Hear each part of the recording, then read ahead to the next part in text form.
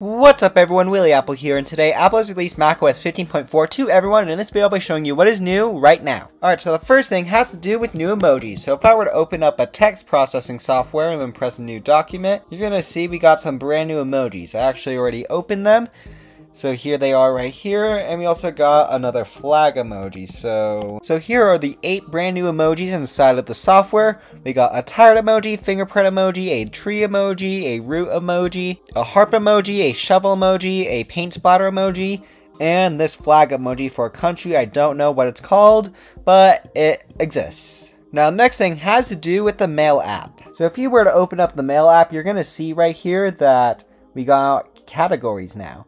So if we were to press this, so if we were to press this button right here, this is just a primary, and then you can do promotions, you could do updates, or you could just do all mail. And to completely turn off categories, you just click on this button and turn off show mail categories. It's just as simple as that. Just if you want mail categories or not, it's just a brand new feature here inside the software. Now the next thing has to do with connection security details.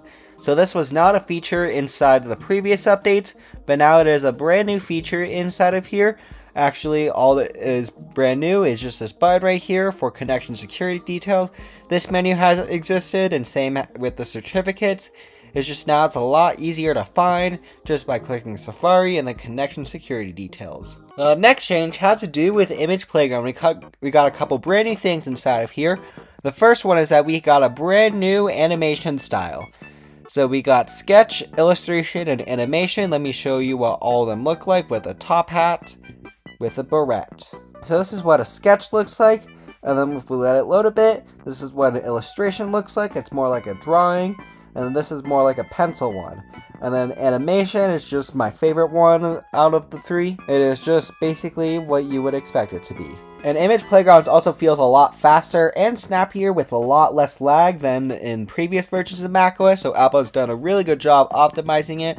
Before which was pretty bad and just not good at all. But we also got a couple brand new things inside of here. Apple has actually removed a couple of themes because they are actually related to winter. So they moved some snow ones and replaced them with like spring variants. So let's see what a spring top hat looks like inside the sunset and then you'll be able to see what it looks like right here. So Hiker's another new one. They also have some summerish themes like sunglasses and Flower Crown, that's a brand new one.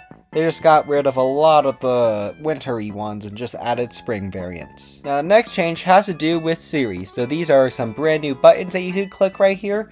And basically what it does, it just tells you what it can do, for example and you can also just do suggestions. And as you type, this is not a new feature. So let's say Willy, and you're gonna see it gives you suggestions. It's actually a lot faster than it was before, and Siri just feels a lot more improved because the Siri UI has been a bit jank lately, but now it's pretty much fixed. Next change has to do with the Passwords app. So if you were to click a password right here, you're gonna see that you now have a progress bar.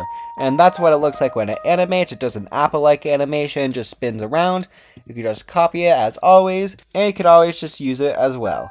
So it's just a lot easier to use here, and it's just really nice to see that you now have a progress bar. I'm pretty sure they had a countdown, but they removed it, but now it is back here inside the Passwords app. Now the next change is that we got a brand new widget inside of here. So we have a library widget. So this is so this widget right here shows you what you have saved inside of your podcast.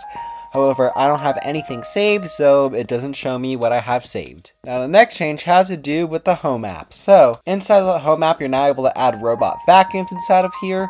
However, I would recommend doing this on an iOS device. Now the next change has to do when resetting your Mac. So if you were to reset your Mac inside of here, or if you just get a new Mac with macOS 15.4 pre-installed, you'll be able to set up your Mac with your iPhone. So you just bring your iPhone close to your Mac, it basically just sets up like with AirPods and stuff like that. So it is really nice to see here. Now next change has to do with shortcuts. We got a couple brand new shortcuts inside of here. So the first one is related to messages. So if we were to messages right here, you'll see that the open conversation one is brand new right here.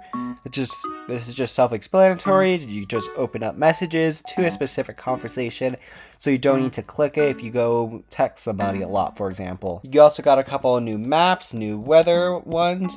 They're mostly just settings and stuff like that, but you're able to now do a lot of brand new shortcuts. So Map, Safari, Calendar, Apple TV, Weather, and the Reminders app all have brand new actions inside of here. Now next change has to do with the News app. So if you have Apple News Plus, you'll be able to do a brand new category inside of here that's called Food. So this is what it is basically, it's just a bunch of recipes that you can just follow along, and it just makes cooking easier if you don't know how to cook that well. Now the next change is if you were to go inside of system settings and then go into Siri settings, and then go into voices, and if you click on Australian, you'll see that there are two brand new voices for the Australian voice variant. And if you live in South Korea, you now have Find My support. So basically what this app does, it lets you find your iPhone, iPad, and Mac, and if you were to get an AirTag, you'll be able to find basically anything inside the Find My app. And now one of the last changes inside of here, if you were to go inside wallpaper settings and scroll down to the picture section, you now have radio sky blue wallpaper. Now this isn't new if you have an M4 MacBook Air, but if you don't have an M4 MacBook Air, you now have the radio sky blue option. Now the next change has to do with Apple Intelligence. So if you speak the following languages, including French, German, Portuguese, Italian, Korean, and Chinese, you now have support for Apple Intelligence. Meanwhile, you did not have Apple Intelligence before, but you now have Apple Intelligence now. So as a nice thing to report, if you speak the one of those following languages, you can now use Apple Intelligence in the language of your choice. Now the next change is if you were to go inside of software update settings, you'll notice that it looks completely different. So this is what it looks like when there's an update. You can get to the I button just by clicking this I button right here. And you can modify your settings as you could before. It just looks a lot different. It shows you, it actually shows you which one you have installed. And it's overall just a lot cleaner. Now I don't like that the updates are on top. I wish they would move it down below, but it's still nice to see regardless. Now the next thing has to do with the Photos app. So a couple of things have changed inside of here. The first thing is that Favorites has been moved down here and recently deleted has been moved up here. So before you would need to go inside of utilities to get inside of your recently deleted. And overall nobody really used favorites and you could also just filter by favorites right here. So it was kind of redundant just having favorites right here and recently deleted makes a lot more sense just so you can clear storage pretty It has to do with the app store. So if you were to download an app right here, let's let it download for a bit, you're gonna see that you're not able to pause download. So before this would just cancel the download, now you're just able to pause download. So if you want to prioritize Willy widgets, for example. Now let's say that I did not mean to download this app because this app kind of sucks compared to WilliWidgets. What, well, what you can do is press and hold option and then click on this X button and it will cancel the download just like that. Anyways, that is everything new here inside of macOS 15.4.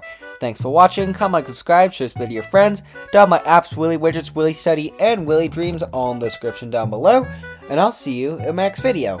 Bye!